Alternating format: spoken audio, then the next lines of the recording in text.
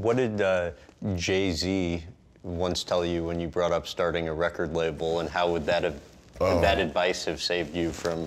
Yeah. How about the uh, worst financial decision you ever made, and what you learned from that? I was in the club with, with my in Miami with my my, my, um, my great late friend. His name was Rasul Butler, and it was it was Rasul's birthday. And so when we go out, we like to drink. You know, we drink a Moët Rosé. And this football player like sitting like right in front of us. Him and his guy, they drinking Ace of Spades. And he said, "Yo, Elo." step your game up. Went at my whole manhood. So I told the waiter, I said, yo, come here. I said, I need a hundred bottles of Moët rosé.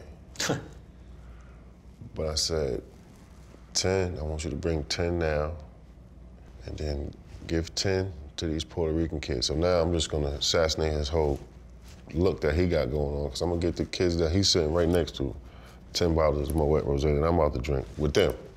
him. And so that's 20. So I said the next 30,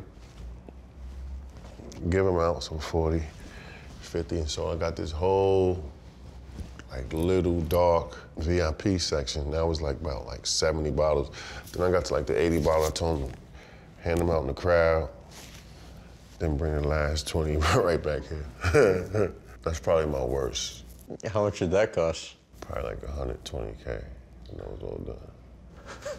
but I mean, I, I did it. I, no, I did it for pride and for foolish pride. I guess that was. What advice would you give? You know, if you were starting your NBA career over, what financial advice um, would Would give- the Lamar Odom of today give the Lamar Odom just entering the league? No should be your favorite word. Because if you tell somebody no, then you're gonna realize how they really feel about you. Or if your relationship got room to grow, or it can grow at all. Because if you tell somebody, you know, yes, yes, yes,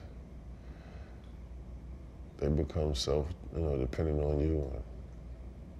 They ain't gonna know how to take a no.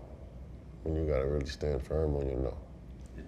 And- when it comes to money and savings now, what's your Same view on thing. it? Same thing. The answer is no. What did uh, Jay Z once tell you when you brought up starting a record label, and how would that have Oh. that advice have saved you from? Yeah, he was like, um, nah, he was like, nah, you want to be like Magic, and you going this way, you want to go that way, you going that way. He said, Yo, going to real estate. And, and you thought he was No, I thought- discouraging you because he didn't I mean, want I- competition. yeah, the rapper that I had was was so gifted, but I, I was foolish then. I couldn't really get to see that he was trying to just help a young man out. If you, and if you had taken Jay Z's advice, how much would that have saved you? Hmm. Probably a couple million dollars. A couple million dollars. Hmm.